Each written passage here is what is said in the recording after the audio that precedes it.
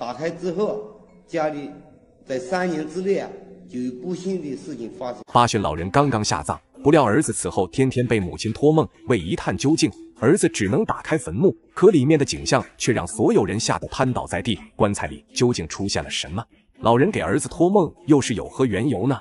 唐大哥这两天非常疲惫，因为母亲刚刚过世，他前后操劳，才安顿好亲戚朋友，将母亲的丧事打点好。于是这天晚上就早早的睡下了。可就在半夜，唐大哥却做起了噩梦。在梦中，自己的老母亲来到了床前，不停的叫着唐大哥的名字。就在唐大哥想要抓住母亲的手时，一道黑影却直接将母亲掳走了。唐大哥瞬间就惊醒过来，不停的喘着粗气。醒来后的唐大哥并没有在意，因为俗话说得好。日有所思，夜有所梦，这很有可能是自己太过思念王母导致的。但接下来的一个星期内，唐大哥却天天被这个梦袭扰，每次梦中的场景都一模一样。母亲在梦中不停地呼喊儿子的名字，但最后就被一道神秘的黑影带走了。天天晚上的梦让唐大哥的精神越发萎靡。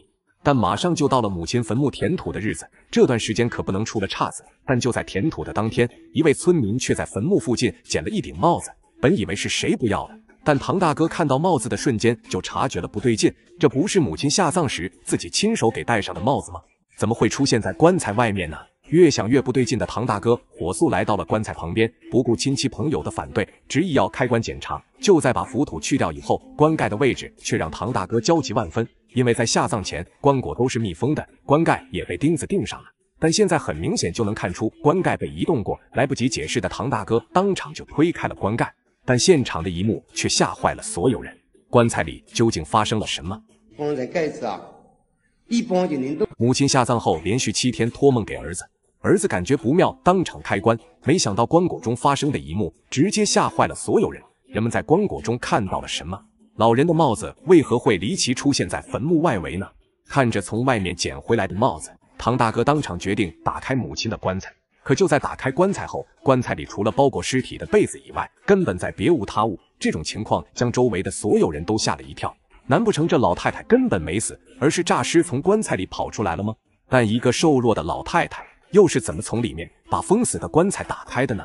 而随着大家都在寻找线索，唐大哥瞬间想到了一个可能，那就是会不会是有人故意报复导致的？因为早在去年，自己的亲戚一家就被人报复了。对方往亲戚一家的祖坟里泼了很多粪便，如果不是有深仇大恨，是做不出这种事情的。但唐大哥平时很本分，在村子里不说乐善好施，但也是一个平易近人、好相处的人。唐大哥也从来没有和人争吵过，所以如果是报复的话，可能性并不是很大。就这样，本就不大的村子瞬间传遍了唐家老太太尸体不翼而飞的消息。因为都是乡里乡亲，唐大哥家有难，大家都愿意帮一把，于是所有人都聚在一起，开始了商量对策。就在这时，一个村民却说出了一个线索：就在前两天，自己因为有事，就大半夜才回村。可就在埋老太太的地方，发现了一个人影。他一直徘徊了很久，当时还以为是守灵的人，所以这位村民也没有在意，于是就回家了。现在想起来，对方有可能就不是唐家的人。而最后，这个神秘人好像去了村子后面的邓家山。听到这个消息，唐大哥坐不住了，直接叫上亲朋好友去邓家山寻找线索。而这一去，竟然发现了一个天大的秘密。我们八个人就在山里，就每隔五里一个。八旬老人下葬后，尸体离奇消失，连续七天托梦向儿子求救。老人的尸体究竟去了哪里？难道死人复活的传说是真的吗？在根据线索来到邓家山后，唐大哥瞬间就发现了不对劲，因为在山上有很多车轮的印记。众人沿着车轮的印记，很快就来到了一个土堆旁，而土堆也非常的显眼。被一个篷布盖着，唐大哥大着胆子掀开篷布，竟然发现下面是一个木板。将木板移开后，一具尸体就静静地躺在土坑下，正是唐家老太太的尸体。看到老人的尸体，唐大哥一下就崩溃了，自己老母亲的尸体竟然被歹人偷到了这里，实在是罪大恶极。在平复心情后，唐大哥便打算下去将母亲的尸体抱出来。但就在搬运老人遗体的时候，唐大哥却突然发现，在母亲的尸体下竟然还有一具尸体。这顿时把唐大哥吓了一跳。在消息传开以后，很快便有人认出了另一个尸体的来历，这正是半年前杨家老太的尸体。但当时杨家老太明明是埋在他们自家祖坟里，那么会离奇的跑到这荒山野岭呢？看来这个偷窃尸体的人还是一个惯犯。于是村民赶快报了警。警方在赶到现场后，很快就在附近又发现了三具早已腐烂的尸骨，看样子也是被人运送到这里的。不过由于尸骨早就腐烂，村里人也认不出这究竟是谁的亲人。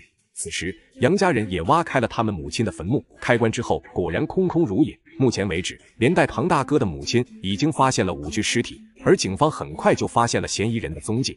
那人竟然是一个流浪汉，而且还带有很严重的精神疾病，种种迹象表明他就是偷尸体的人。但由于精神有问题，警方也问不出有用线索，只能将其带去医院进行治疗。而村里也恢复了正常。这下，唐大哥总算将自己母亲完完整整的安葬了下去。